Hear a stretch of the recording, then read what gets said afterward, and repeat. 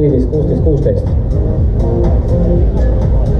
Saabi näol on siis tegemist C-klassi autoga aastast kaks tuhat kaheksa.